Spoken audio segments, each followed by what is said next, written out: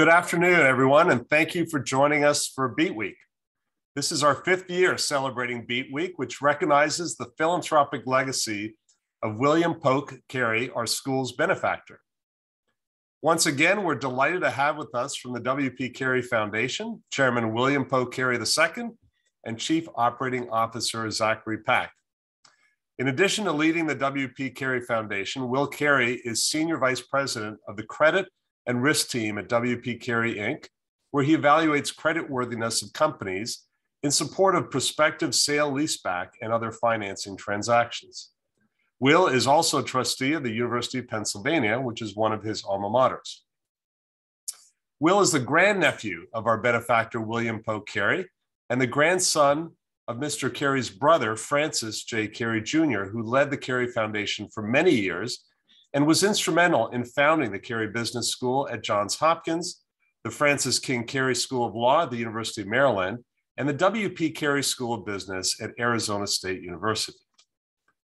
Zach Pack is managing director at BDT and Company LLC, a merchant bank that provides advice and long-term capital through its affiliated funds. The firm helps family and founder led business, businesses pursue their strategic and financial objectives. The W.P. Carey Foundation is a private U.S. foundation that was founded by William Polk Carey. The foundation's primary mission is to support educational institutions with the larger goal of improving America's competitiveness in the world. Since its founding in 1990, the foundation has granted over $375 million to hundreds of institutions. Of course, the Johns Hopkins Carey Business School is a beneficiary of the Carey Foundation's generosity. In 2006, a $50 million gift from Mr. Carey led to the establishment of the Carey Business School. And this was and is the largest gift ever in support of business education at Johns Hopkins. The school was named after Mr. Carey's great great great grandfather, James Carey of Loudoun, which, who was a successful Baltimore merchant during the 18th and 19th centuries. In 2020, the W.P. Carey Foundation made another $25 million commitment to the school to recruit renowned faculty, enhance academic programs, and help launch student careers. This gift is being matched with commitments from Johns Hopkins University and contributions from other donors for a total of $50 million over the next several years. So I will start our conversation um, with Will and Zach with a few questions. And we've also invited three of our students to join us to ask their own questions, but we're also anxious to hear from our audience at large. So please feel free to submit your questions using the Zoom Q&A button at the bottom of your screen, and we'll try to get to them uh, during our program. So first of all, Will and Zach, uh, welcome. Great to have you both with us this morning, or this afternoon, I guess. Well, thanks, Dean Triantis. It's great to be here uh, and such a treat to. Uh, very grateful that you and the Hopkins community are taking the time to recognize philanthropy this week um, and all all the good that can be done um, when when uh, nonprofits can partner together and schools can come come together and uh, support students. Thanks, Will. Zach, great to see you as well. Thanks so much for having us. We're really looking forward to today's meeting. Zach, I will let you know that uh, we had a bet whether you'd have a tie on or not. and I gave two to one odds, and uh, Dean Triantis wouldn't take the counter, uh, but we did. Uh, someone did, and and uh, I am now one. I have one more dollar to my name. Bill, Bill will be proud to hear that that you won the bet. yeah.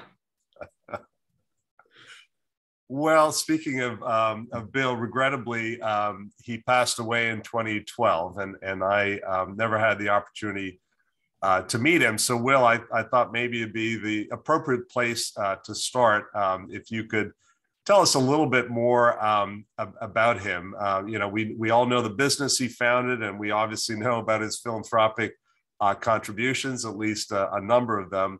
Um, but maybe you could tell us more, sort of what was he like um, as a person? Uh, what do you remember about him, and and what would you like people to know about him? Yeah, he. I, I think that Bill had a had a, a an amazing life and and had a huge impact on a a, a lot of people, uh, and I, a lot of that was due to his his strong empathy and and caring caring nature. you know, when Bill was um, when he was younger, he he went to the Gilman School where he started out, where, where Frank Carey also went to school, which is uh, not too far away from uh, from Johns Hopkins campus. And and before Gilman, he started at Calvert, which is right next door to Gilman's campus. Um, those two institutions in Baltimore as a whole had a huge impact on him uh, and the man he became. Um, when he was in Baltimore, he was selling uh, ink, and so he always had this sort of door to door. So he always had this sort of entrepreneurial spirit to him, and he continued that. He started off his after uh, Gilman and Pomfret, uh, where he went to boarding school briefly. He went to Princeton and kind of continued that entrepreneurial spirit in while at Princeton when he was selling refriger- buying refrigerators from seniors and then selling them to freshmen or leasing them to freshmen, um, either one. And, and it's really incredible because that sort of entrepreneurial spirit was then kind of honed in at, at the Wharton School. Um, as he he joked uh, later on in his life, he was on he was very social and very friendly and uh, adored by all. And he was on spending a lot of time on his his refrigerator business, probably too much time. So he was asked to leave at the urgent request of the dean and found a home at Penn, where he went to Wharton.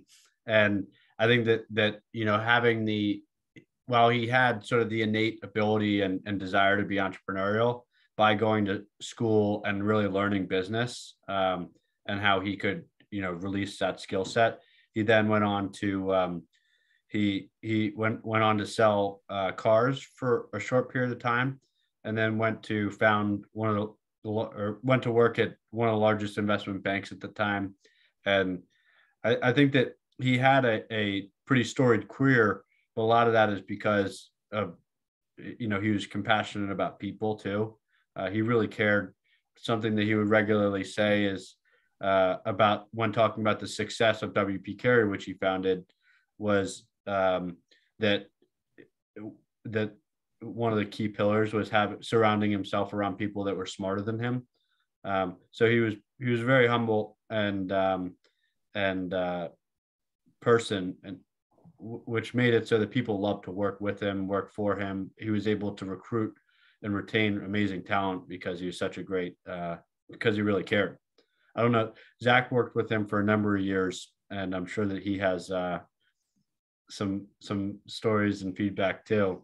Yeah, Zach, I was going to turn it over to you because um, though not a family member, you you became um, close to Bill Carey but also just so everybody knows that you you had very close ties here at Hopkins, and in fact, you were the uh, you did your undergrad here, and you were the student government president. So tell us a little bit about uh, how you met him and uh, how you got to know him well. Yeah, no, thank you, and again, thanks for thanks for including me in today's, uh, session. I think um, I was fortunate to get elected class president, and then, as you know, ultimately student body president.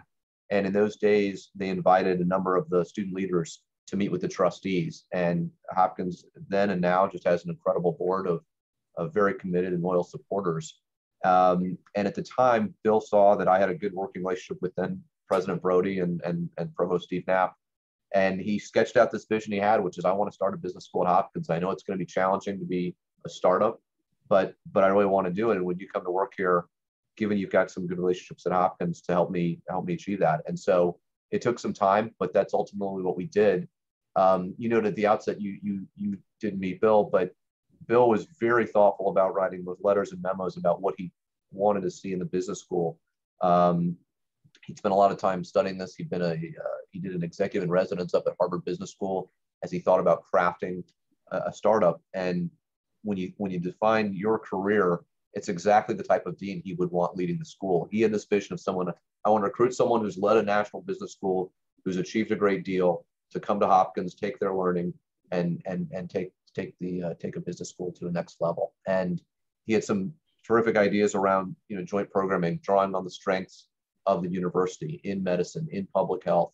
He was a very uh, uh, big believer in, in, in, in finding ways to access the best parts of Hopkins and leveraging that to enhance what, what would be the Carey Business School. And that that goes back to memos Will and I've seen from, you know, literally almost 25 years ago. So it was something he cared about and thought about uh, a great deal. And I think he, if you if you were today, would be thrilled um, and and incredibly grateful for not just your work and your team's work, but also the students that Hopkins has been able to attract today and the caliber and the quality of the students. Um, the other thing I just just to switch gears, Will noted um, his concern for for employees, and today we talk a lot about DNI and the importance of that. Bill was also incredibly ahead of the curve in that regard. He was very focused on building a very diverse uh, and inclusive team at the company at WP Carey when I when I started there, and um, he would look out for employees as though they were members of his family. I'll, I'll never forget there was an employee, junior person accounting. Her mother had a health issue. She came to see him, and he called up, you know, the head of this department of the hospital because he was a donor to the hospital. Said, "Can you help this person?" I, I don't know how many CEOs of a public company would take that level of interest in someone who was perhaps not necessarily at the C-suite level, but Bill did, and he actually did that fairly routinely um, in terms of trying to help. You know, whether it was writing a letter of recommendation for someone going to university or or someone may have a health issue, if, if he could be supportive and helpful there. Um, it, it, was an incredible dedication to his to uh, to the firm, and and I think it set a great tone for for the company. It carries over to um, how we think about the foundation as well, and I think it's a great lesson for those that are on the call that may one day start and build companies um, to think about your employees not as not as an employee but as a partner and as a as, as someone that is an extension of you and and, and your work. So um, in, in a lot of ways bill was very much out of his time.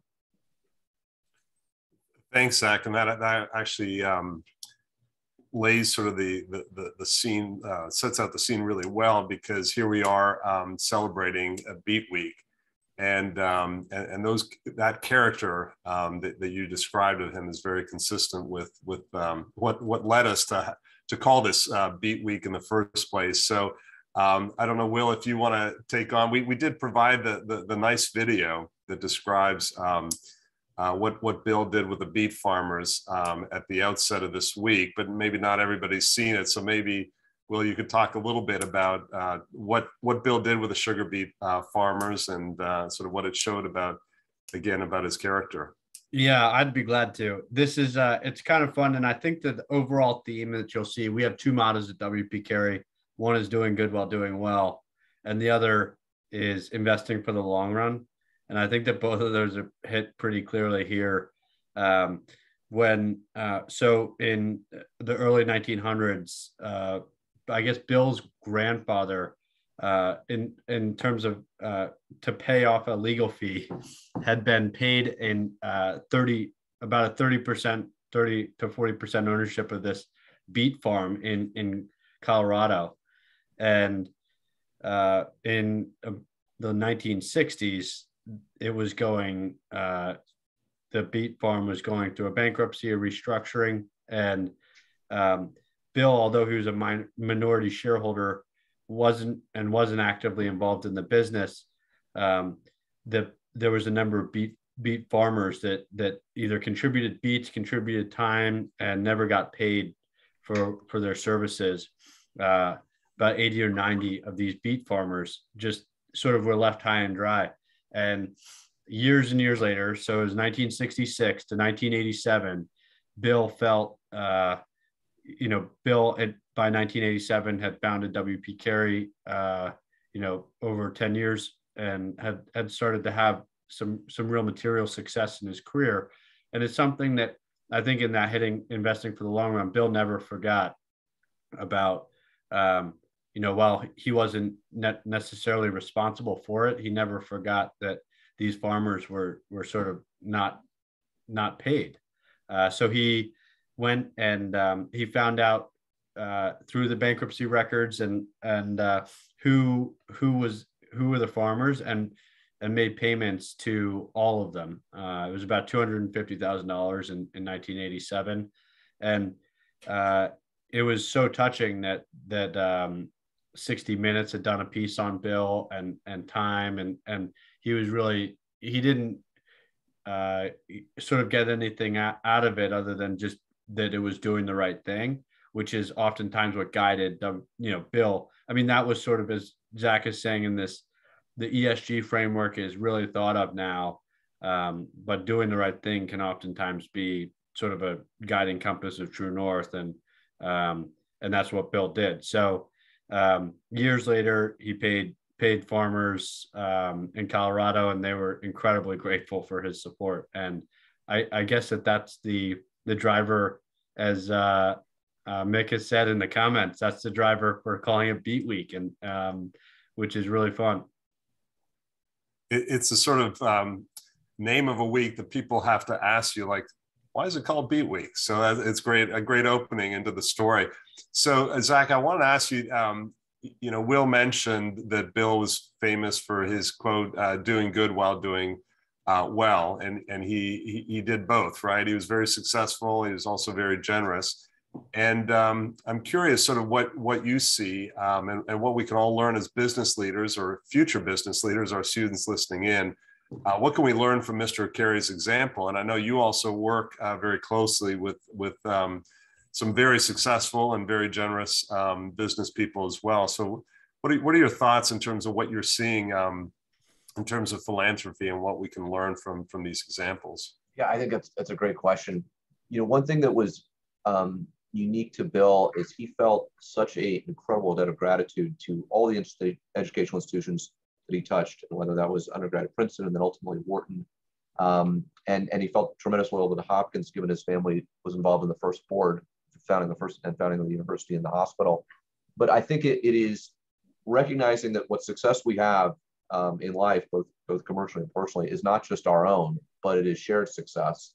And I think that uh, Bill felt a tremendous sense um, of obligation to those institutions that had touched him personally and had had uh, lifted his career to, to heights that, that were you know, seemingly unimaginable when he when he started out. He said he had, you know, something like ten thousand dollars. Some amount of student debt, you know, even when he, when he graduated, and yet he he went on to achieve these great things, and he had um, a real loyalty to to the institutions. And so I think that's, you know, if you get your MBA at, at, at Carey or or you have some other connection to Hopkins, um, I do as an undergraduate, um, incredibly important to to give back and to stay active and to help that next generation the other thing that, that Bill did, I think, better than anyone was he was incredible, and I say this in the best, the best possible term, networker, and he wanted to connect other people. So he hosted receptions for Hopkins students that were undergrads that were part of the what was then called the W.P. Carey uh, minor in entrepreneurship, entrepreneurship and management, and would invite all of these uh, various leaders in finance to a reception in January to try and network both juniors and seniors to help them get you know, uh, positions on, on Wall Street and in finance after graduation. He personally was incredibly rigorous about maintaining his network. Um, he'd gone to Princeton with uh, an incredibly impressive class, including uh, former Secretary of State James Baker, former Secretary of the Treasury. But he maintained those relationships all throughout his life, and and would host dinner for folks that would help um, you know, Secretary Baker, others in their career at certain points that were that were important to them. I think that's another great life lesson for for the MBA students is that this network is not just for someone that you're doing a, a project with for this week or this semester, but you know build on these relationships because they can transform both your both your career and your life. And so that's something that Bill did, I think, extraordinarily well. There was another life lesson uh, that we all take that both the foundation and company employees took away from from working uh, with and around him.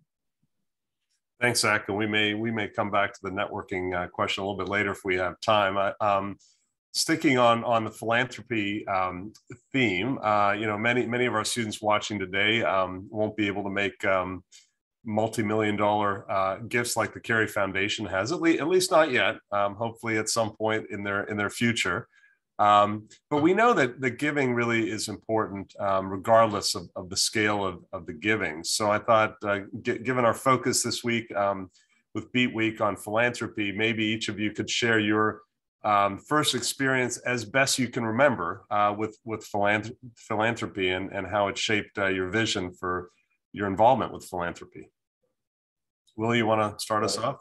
Yeah. Um, you know, it's it's a it's a great question, and I, I think that oftentimes with with philanthropy, you know, it, it's at least the way that I've I've seen it is to to have a passion, figure out what your personal passion is, and hopefully that will sort of you know guide you to what you you're doing. Uh, you know, I think oftentimes in the beginning, a lot of philanthropy is and and giving can be can be time. Uh, you know, you start to get involved in an organization, and the more and more involved and engaged you get with it, um, you know, if if that organization is sort of a match, then you end up spending more time, and they it's sort of they're asking for more input, and you're giving more input, and then all of a sudden, you can start figuring out areas where the organization has a need, um, and that you know uh, that you're also passionate about, and it's an area where you know whether you're making a multi-million dollar gift or a few thousand dollars that can really make a difference or a few hundred dollars uh, maybe even it's even tens of dollars but um, they can make a difference towards something that you're personally passionate about. And you can then see that sort of grow. Um, i think that that's really impactful. Uh, you know we see it for instance at hopkins. I, I think bill saw it very clearly he was you know very passionate about baltimore and about johns hopkins and about um, and also about business and teaching business education because it's it was so you know so beneficial to him. He saw what education could do um, for his career and for him him uh, both on the personal and and uh, and professional side. So um, that's when he sort of with a lot of help from zach and um, and you know continued continued efforts bill was very vigilant about really wanting a business to put business at hopkins to really help elevate baltimore as a whole um, and you know give back to the baltimore community that i think that things like that that has was bill's way of of doing that. A lot of my early uh, giving i think was at a very micro community level um, you know whether it's uh,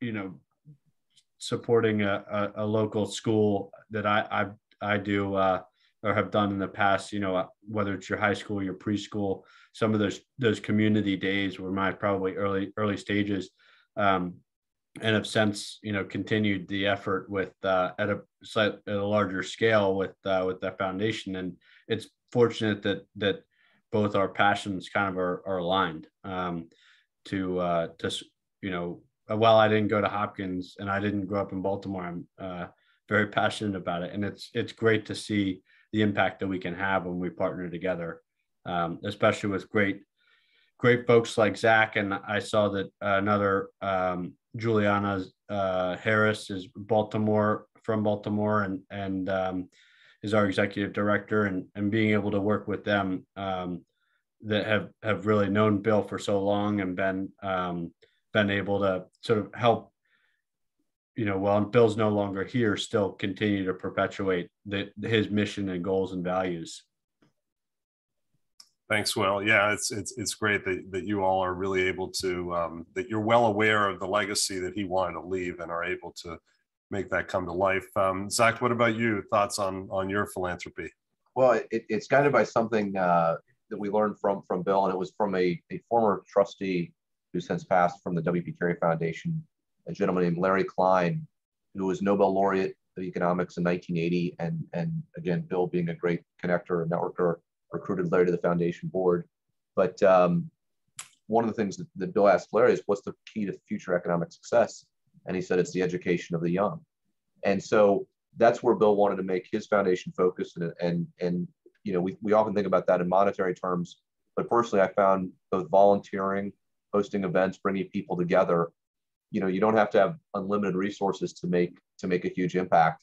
Uh, I think Mike Bloomberg's first contribution to Johns Hopkins, uh, Greg will know the answer to this, but I think it was something like five dollars when he was a alum in 1964, 1965. Now, Hopkins has done well by that initial investment over the years, but the point is, is you know, initial investments, be they monetary or one's time, can ultimately lead to huge, huge impact. And um, I think that that's a really important lesson that we've seen from the Hopkins community and one that, that Bill shared and, and um, you know, our own individual philanthropy is, is, is driven by the guiding principles that we saw from, from Bill and his brother Frank uh, at, the, at the W.P. Carey Foundation.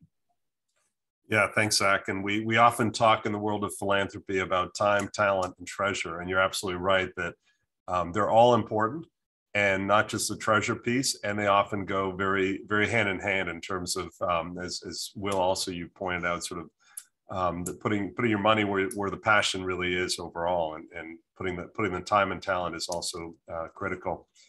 Um, well, great. I, we have actually um, three students uh, that uh, have uh, questions for you to, to pose directly. So um, Mick Byrne, uh, who's one of our Flex MBA students about to graduate. Mick, um, I'll give you the, uh, the shot at the first question. Thanks so much. Uh, so thank you both. Also appreciate you being here uh, today to, to discuss. Really appreciate the discussion so far. Uh, I'll give a quick introduction. So like I said, my name is Mick Byrne. Uh, I'm the Flex program. I expected to graduate actually next month. So very excited. Uh, I just accepted a position uh, as a senior technical product manager. It's kind of a mouthful at Amazon based out of their HQ2 over in Arlington, Virginia. expected to start right after graduation. So just going through onboarding and everything right now. Uh, my question for you uh, is sort of the short version of it is what made you choose Hopkins? So to elaborate, uh, Hopkins, I think, is, is known uh, for its leading research hospital. Uh, it's world-renowned applied physics lab, cutting-edge engineering facilities. But why start a business school here of all places? I have my opinions and my thoughts, but I really want to hear yours. Zach, do you want to yeah. I want to take this? You, you were uh, with Bill when he was making these this thoughts, these thoughts. Yeah, Bill, Bill's view was he grew up in Baltimore in a period when Baltimore was really preeminent. It was a far more uh, important city, frankly, than Washington D.C. And for a variety of reasons related to you know the decline in, in, in shipping, rail, and steel industry, you know Baltimore had had had suffered some setbacks. He wanted to return and wants to return Baltimore to the glory that it experienced historically um, as such a key key city in in the in the country's history. And he thought the key to doing that was establishing a business school and having entrepreneurs who would then stay in the area and start jobs or work for great companies like Amazon, as an example, um, and who can make a, a, a, contribution to the greater Baltimore and, ultimately Baltimore Washington region. And so, but his particular focus was was Baltimore, and I think that's that's what drove it. It's it's an amazing sense of loyalty to one's hometown um, that he felt, and he was extraordinarily proud of of being from Baltimore. The family, you know, goes back. The ties to the city go back to the 18th century. In fact, the, the, the business school named for, for James Carey of Loudoun, he served on the first city council of Baltimore. He was the first chairman of the First Bank of Maryland.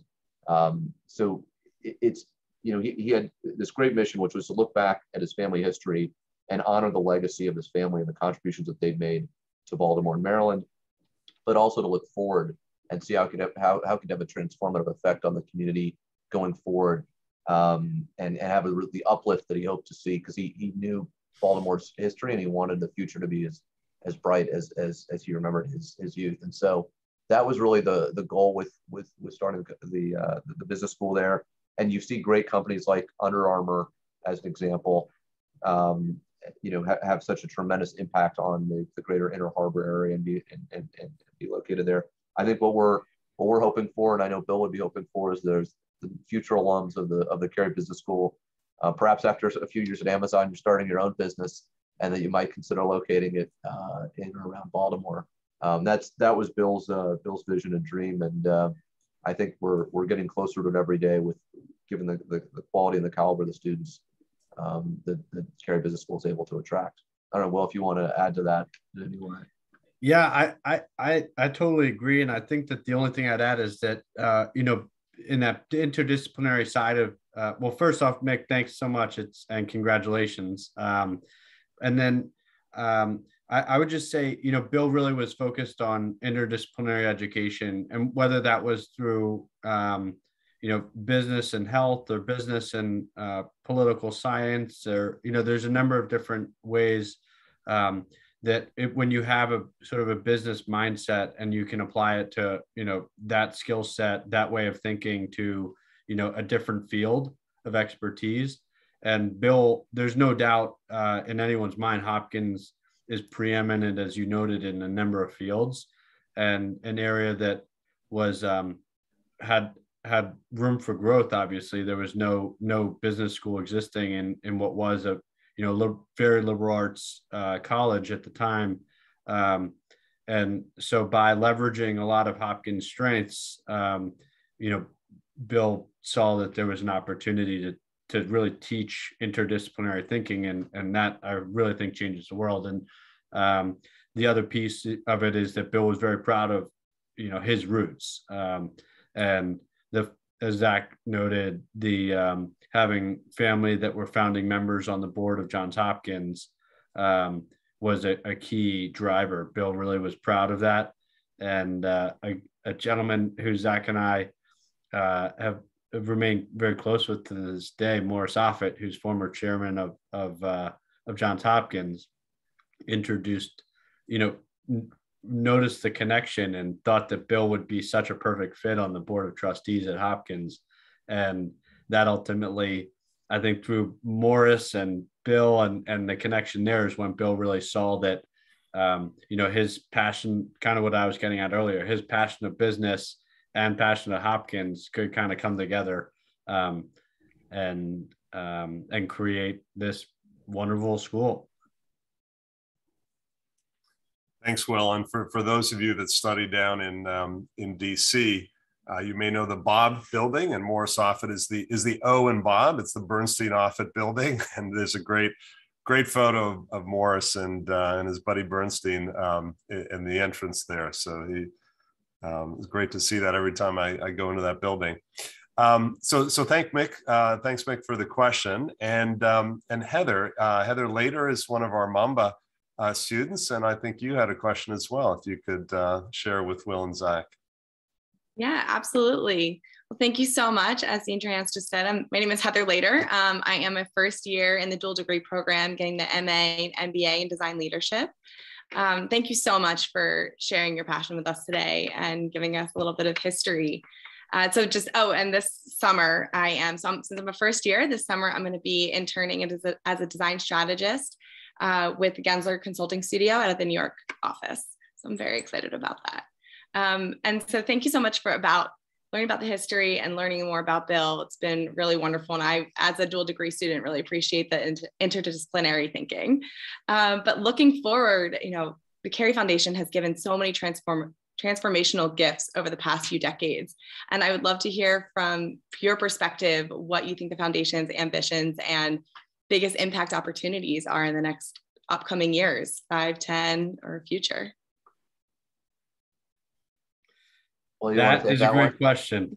um, and and uh, thanks for the question. It, and congrats on on Gensler in New York. They're a phenomenal firm. Um, my uh, we they they did uh, WP Carey's interior fit out for our office in New York City, so we're very familiar with them.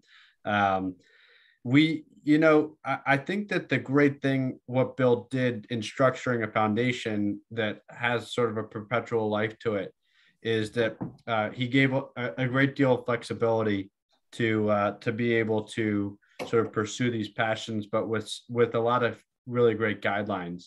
Um, and we're fortunate that you know folks uh, like zach and and juliana as i mentioned before and our trustees are all able to kind of continue to provide that guidance and stay really close to Bill's mission of business and legal education um, ec- and economics education, and um, sort of leverage that to a next phase. I, I think that where we see a lot of critical issues are, and, and one thing too about us as a partner is we really do like to be a, a full partner with the organizations that we we support. So you know, very regularly when organization, when not, you know, schools that we support or, or uh, organizations, folks that we support are, are performing at high levels, we're very likely to kind of continue supporting those organizations. But when, when thinking about what, what we were looking to address, I, I really do think that it's, you know, staying true to some of the points that we've made on this call, which are, you know, Baltimore is a key issue. We've got um, that I look at as as an addressable point for the next few years. Um, we really want to and are in the early stages, and actually, someone from uh, Hopkins' own community will be helping Noreen uh, us in in sort of framing um, that while staying true to what we've done in the past. Um, thinking about ways that entrepreneur, you know, the, the foundation and we can support entrepreneurship and business building and education in Baltimore um, through sort of more pilot, more specific organ uh, targeted towards a geography.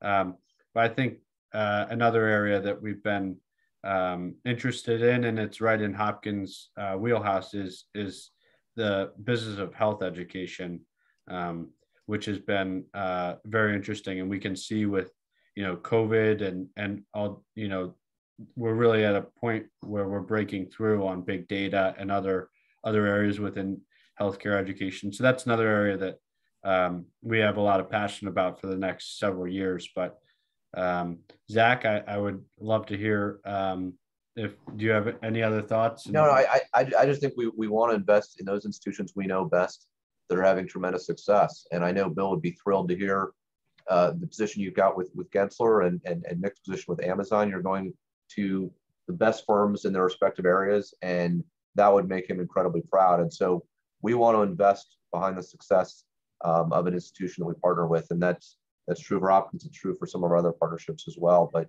um, it's it's really to how do we how do we provide resources in order to help every institution we partner with go to the next level. And um, Hopkins and Carey just have a tremendous trajectory today, um, thanks to the students uh, like like you all on the call and and Dean Triantis' leadership. And so building on that success is really where we're focused on, as opposed to some entities trying to do new things and, and, and go into a lot of different areas, which is, you know, certainly worthy as well. But we think we will do best by investing in those, those that we know, um, know so well. Thanks. Thank so much. Thanks, Heather. Appreciate the question. Uh, also have a question from uh, Arbaz Hashmi. Uh, Arbaz, there you are. Thank you, Dean Triantis, for this opportunity. Uh, hello, Will and Zach. Thank you so much for this wonderful session. Uh, I'm Arbaz Hashmi, as Dean mentioned, first year full-time MBA student. Uh, been a partnership specialist for a decade now in the fintech space, and uh, will be interning in the wealth management sector at Addepar this summer. Uh, here's my question for you. Uh, we know the foundation's mission to supporting institutions with the goal of improving America's competitiveness in the world, as Dean Triantis mentioned at the start of the session. And we've also heard about so many wonderful contributions of the Carey Foundation across the US, especially in places like Baltimore and New York. Uh, however, speaking as an international student at Carey Business School, uh, could you please you know, uh, talk a little bit about how the work of the foundation or the company has a global impact and uh, maybe share your thoughts on educating future business leaders who would go on to be global citizens. Thanks, Arbaz. Uh, who wants to take that first?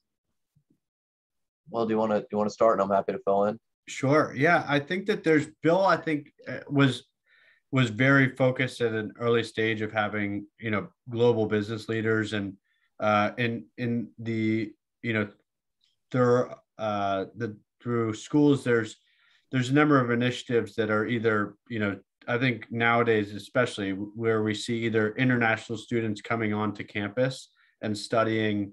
Um, and I think that, or we, or also campuses going and expanding um, uh, in in other regions, um, whether it's a satellite or you know what we're doing here. We're all in in different locations and able to uh, to sort of communicate and um, and education's done the same. I, I think that when we think about our impact globally, you know, it really is that it's the ability to um, you know, partner with organizations that are are making you know global impact. And you know, I know that um, the impact that we've had through multiple schools um, has been has been quite global. I think you know both with Hopkins and uh, the diversity of the class that's that's coming and and where everyone's going and um, you know it, uh, I don't know, Zach, if you have any other. Well, I, will tell just one one quick anecdote, and then we'll. But Will's uh, grandfather, Frank Carey, came to WP Carey in 1987, and he led the Reed Smith office, a very successful law firm um, based in, uh, out of Philadelphia. But shortly after arriving, Bill shared with uh, with Frank that he was going to go on an international tour, and he literally took time off to travel the globe in order to better understand, not just from a from a you know, spending a few days in, in London or Paris or, or, or wherever it may be, but to truly become a, a, a global citizen. And um, he did he did an enormous job, uh, phenomenal job rather, networking as he went around the globe. And so um, I remember when I first joined, one of our assignments was to open a, uh, a WP Carey office in, in Mumbai, and we, we went on a lengthy trip. Um, and because of Larry Klein, I referenced earlier, we were able to meet the finance minister um, of India, which which is a great thrill for for Bill and and uh, and our trustee then trustee Larry Klein. But I think that global thinking, global perspective, historically from Bill and from Frank, also informs our giving because um, we're obviously living in a, in a very global economy, and in order to attract the best students, we need to have those resources that, that we can provide those institutions we support to bring in students from all over the globe and, and to continue that perspective um, that, that students from, from around the world uh, can bring to Carey and the other institutions we support. So I, I, would say it's an, it's an incredibly important focus, but it, it doesn't just come from Will or the board or, or, or, or the members of the team today. It, it's driven from, from really understanding Bill's legacy um, and, and, and the import that Bill felt. He, he, he knew in order for WP Carey to grow as a company, he had to expand, expand globally. We started with a London office, I think, um, I want to say in the mid 90s. That was the first expansion of WP Carey internationally. But um, he had he had uh, been doing deals internationally uh, for a very long period of time. He brought the first, as he would be the first to tell us on this call, right? Well, he he brought the first foreign direct investment into Australia in 1964, um, something like that. He was you know just 34 years old, and he dealt with one of the largest property owners in Australia, a gentleman named Janus Hooker. Um, so Bill had always had a global perspective, and and um, it's something extremely important to him. And so therefore, you know, he would know that that for a business school to be successful, it has to maintain that, has to attract students from all over the world, and and that's incredibly important to us given uh, given his legacy. Yeah, I think that that's a great point, Zach. I mean, since WP Carey's invested in 31 countries, and um, but Bill was extremely proud, and I think it really did sort of put him on the map. Uh, you know, in the beginning, when Bill founded WP Carey, uh, but just prior, he founded a company called International Leasing Corp. Um, and I, I, think that Bill had global ambition, ambition, even at a, you know, when sometimes it wasn't quite glo- as global as as the name could have. You know, when he started out, he didn't have any deals done anywhere, let alone uh, internationally. So, um, but he was very proud of that that first deal that he did. That was a first foreign direct investment um, and it got it made headlines across the world for you know the United States making a first foreign direct investment in in Australia, and I think it's also neat the way that he did it was partnering with, uh, um, as Zach had noted, L.J. Hooker, uh, who was a, a, local from that region, and and really making it so that it was a true partnership where there's an American investor partnering with you know a native um, Australian, and and uh, that really did that investment alone. I think Bill Bill thought that it really helped put him on the map as a as a global financer. So I think that we will I we will continue to try to and I think succeed in making a global impact. And sometimes it's a second degree impact, if that makes sense, where we may not be supporting organizations as much on the foundation and philanthropic side that are, are international, but I think that it's clear that we have this uh, second degree impact um, uh, on on uh, on the giving. Uh, and thank you so much for that comprehensive answer. I really appreciate that. Thanks, Arbaz. Appreciate your question, and um, we we do have a question in, um, in through our Q and A, and um, it's interesting. You you've mentioned now the word networking has been mentioned uh, several times, and um, Will, I think you'll probably um, share my view on this that um, on the call here, we have one of the best networkers that exists, uh, which is Zach. Um, so, Zach, I think this, um, I'll tell you what the question is in a second, but I'd love to hear sort of your thoughts um, that you can share uh, with our students on um, the power of networking and how best to do that. But we also uh, uh have, uh, as part of our audience, not only students, we have uh, Eddie Tuvin, who uh, asked this uh, particular question regarding um, networking uh, with folks at WP Carey about employment. So I, so Will, we'll let you answer that, answer that as well. But let, us start off first uh, with, with Zach's thoughts on and advice on networking. Well, thank, thanks for the question. I think that uh, when I first moved up here for, and, as a Hopkins alum, it was just a natural fit to try and gather other Hopkins alums and what was fascinating is how many different areas they were working in. They were working in government and finance and medicine. And that was really key to, to introducing me. I didn't know hardly anyone in New York um, outside of the folks at, at WP Carey. But it was that Hopkins alumni network that really helped both personally and professionally. Um, ultimately married a, a, woman who went to Hopkins class of 03, Amy, now Amy Pack. Um, and I would not have had that connectivity but for the, the Hopkins alumni network. And so um, in any event, it's it's both important, obviously personally, but professionally as well. And what I suggest is, you know, take those that you went not just to, and, and, and Bill was great about this, not just college or, or business school with, but he would even go back to his high school and grade school relationships. And he would throw parties and events just to bring everyone together. And, and what was fascinating was by doing that, sort of the flywheel effect it had on, on people's lives and careers was, um, was, was remarkable. As I mentioned, um, Bill opened a London office in the 90s. He would throw this huge party and invite hundreds of people, and and and it really helped the WP Carey brand become known um, successfully both both in the UK and on the continent in a way that he couldn't have done, you know, in in any other way. And so, but he was able to do that because he kept in touch with folks at every point in his life.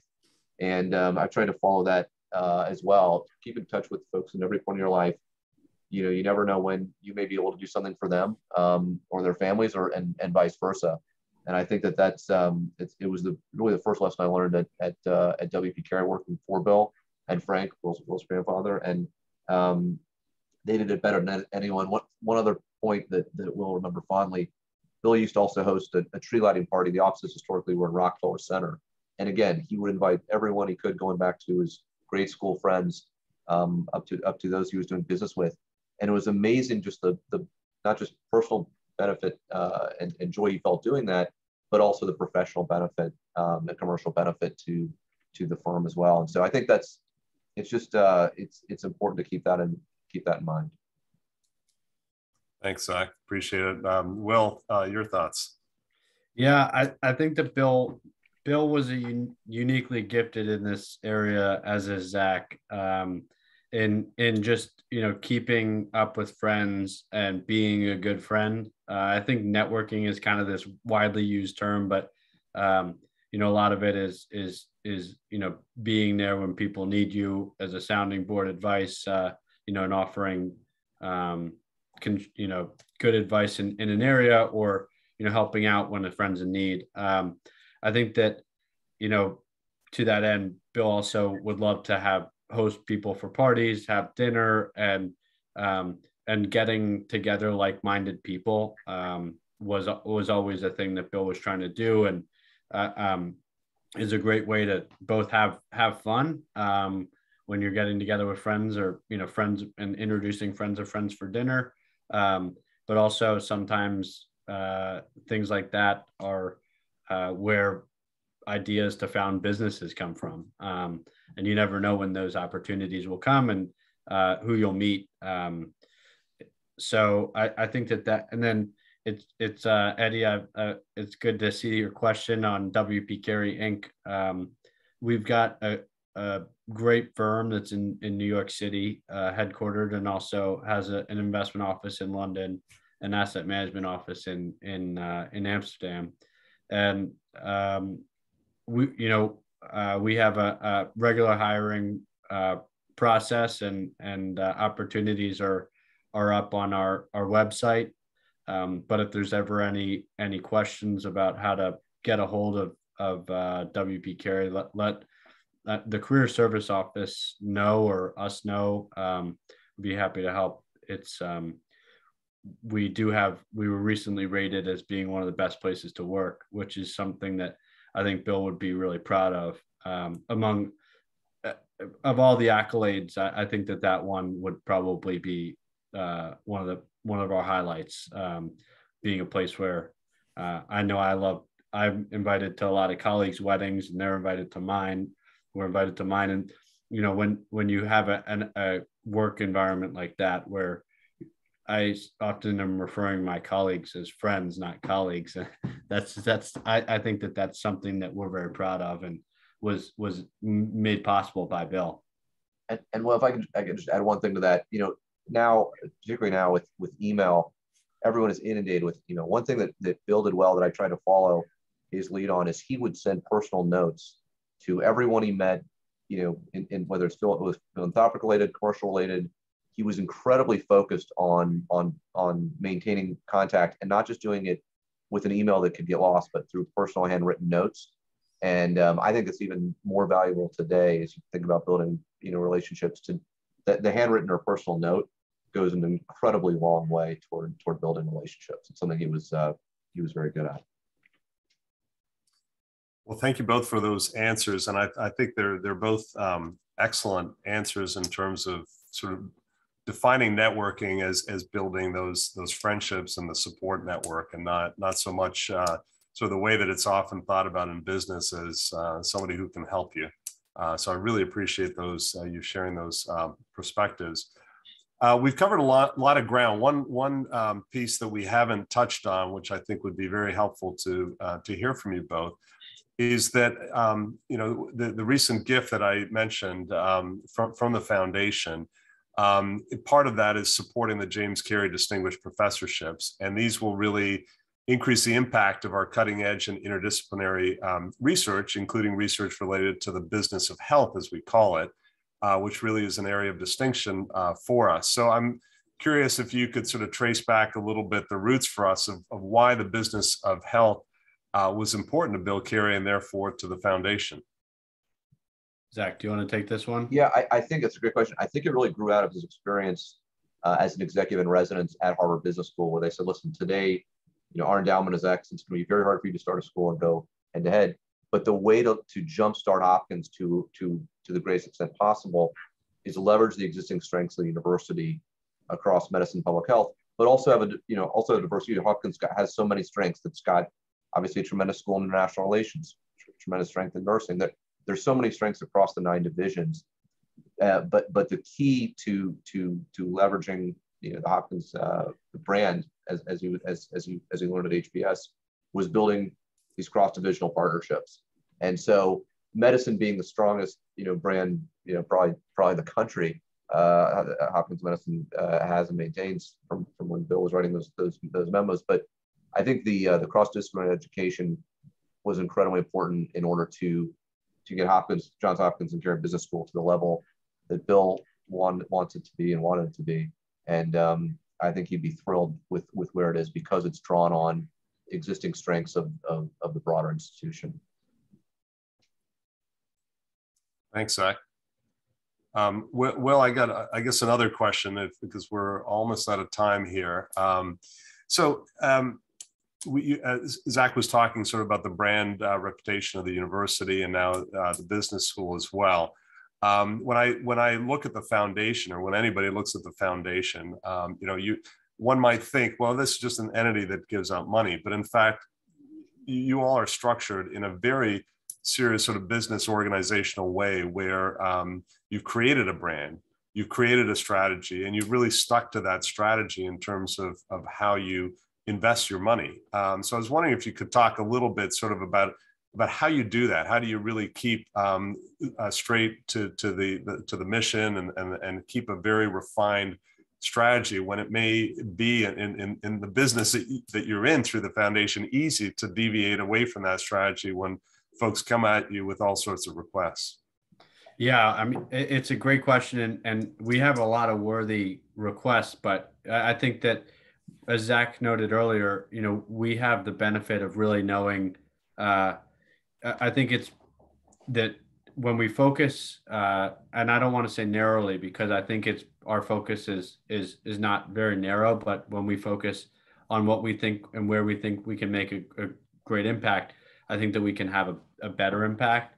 So i a lot of found you know when bill passed away there i think that bill was just uniquely passionate about a lot of these areas but there wasn't necessarily a, a framework uh, so what one of the things i was focused on and um, was creating sort of understanding our history um, and using a lot of data analytics and just to to look at what we've done in the past. Some of it's just reading, you know, Zach noted about these letters, just sort of being a student of history, reading previous letters, a lot of time working with Bill and Frank and understanding their, you know, how they think about uh, certain challenges, um, and then and then creating a framework around that. I, I think that um, you know, we've been particularly lucky and fortunate to have uh, continuity of, of a team uh, where we have our, our, trustees that have been around a long time.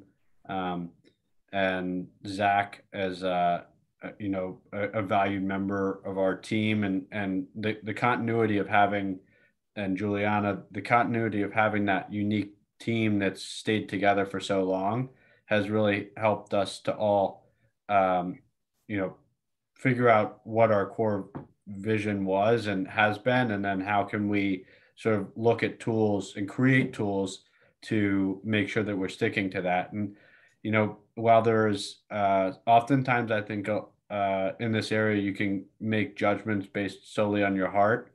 I think that we've also taken a fairly pragmatic approach of using, you know, quantitative uh, ranking systems and things like that. Now, we would never rely solely on the quantitative ranking, um, but I think it's a nice tool to have as we sort of think about how, you know, how would this be thought of in in a sort of more analytical and rigorous framework.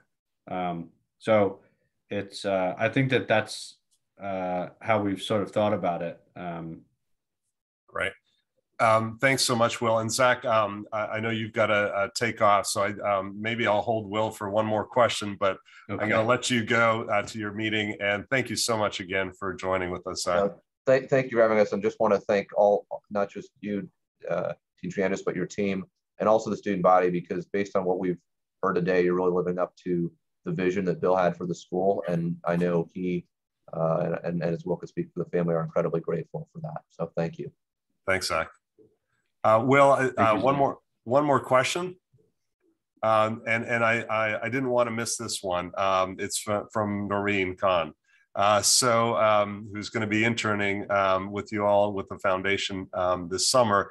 Um, question about the foundation, which will be great for you to share with everybody. A foundation's vision for the future regarding entrepreneurship. Uh, clearly, um, you talked before about Bill Carey being an amazing um, entrepreneur. Um, is there a potential of combining um, that philosophy with the um, business side and investing in startup accelerators that focus exclusively on social ventures to helping uplift communities like Baltimore? Yeah, thanks for the question, Noreen. Really, really looking forward to having you on board this summer. Um, we uh, absolutely, I think that in entrepreneur in in entrepreneurship, it's it's uh, it's it's a unique area where you know oftentimes you're you're strapped with resources whether it's personnel or capital and figuring out ways that we can you know leverage uh, those areas um, and then also some sometimes there's basic challenges that can um, like how to enter into a new market a new country a new you know something that's new so figuring out how to uh, to provide resources there will be key and I, I think absolutely. There's a few ways that foundations also, unlike Bill during the beet farm, he he wasn't able to uh, when he was funding the beet farmers, wasn't able to you know use uh, financial structures to get uh, tax credits for them. The foundations are are somewhat have somewhat of an incentive uh, have different programs where they're incentivized uh, to make uh, contributions to startup companies. Um, so it's something that I think that we'll try to uh, try to explore, and um, I think uh, with with with you on board. So we look forward to it. Um, Thanks, um, Will. Yeah, appreciate that response. Appreciate you being with us uh, today and and and sharing really the inspiration of of Bill Carey and, and his legacy, and uh, and for all that you and the foundation do for the Carey Business School. Uh, so thanks so much, Will, for your time. Well, thank you, and thank you to the students, especially. You all are are why we're here and why what we're so passionate about. So uh, it's really great, and I'm glad I could, you know, shed a little bit of light on on Bill Carey, um, and and uh, and mainly thank you to to you also Dean Triantis for um, carrying on this legacy and through Beet Week, and it's uh, it's incredible to see the great outcomes that are happening at Hopkins and Carey Business School. So thank you. Thanks so much, Will. And thank you to the audience that joined us and everybody enjoy their day. Thank you for those who also uh, donated as part of this uh, week of philanthropy. And um, everybody enjoy the rest of Beet Week and take care. Bye bye.